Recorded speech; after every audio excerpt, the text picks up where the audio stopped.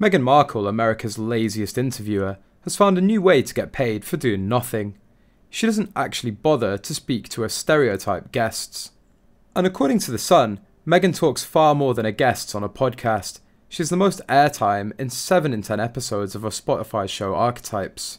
That is despite promising intimate and candid conversations with celebrities. In the first episode, Meghan spoke for nearly twice as long as Serena Williams, 30 minutes and 6 seconds compared to the tennis icon's 17 minutes 12 seconds. In episode 8, the Duchess clocked up 26 minutes 1 second. Canada's First Lady, Sophie Trudeau, one of three guests, spoke for just 2 minutes 9 seconds. In episode 5, Meghan talked for 24 minutes 16 seconds.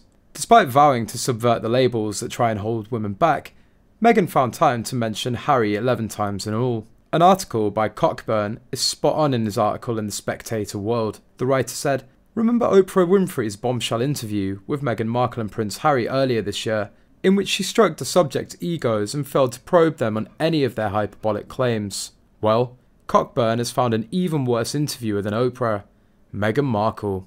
Listening to Archetypes, Meghan's podcast about dissecting labels, Cockburn found it a little weird that the guests never spoke over each other. You'd think that as the interviewees, they try and get a word in edgeways through Meghan's babbling. After labelling the show a candid conversation, it seems the conversation is actually happening without Meghan. One of the podcast guests has revealed that she didn't actually speak to Meghan for the show in an Instagram post. Alison Yarrow from New York appeared on the Duchess's show last week in an episode called To Be or Not to Be, where she spoke about the word bitch. In her post, Alison shared a photograph of herself in front of a sign for Gimlet, the audio production house run by ex Obama staffers behind Pod Save America, and thanked her producer Farah Safari for being an excellent interviewer. But in the show, Alison's comments are interspersed with comments from Meghan herself.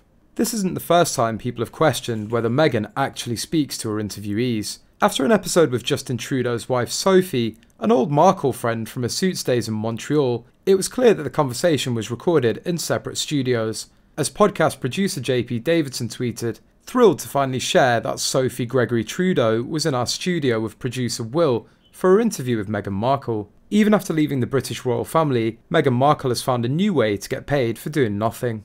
Meghan Markle's Archetypes podcast on Spotify is winning her tons of detractors. Why?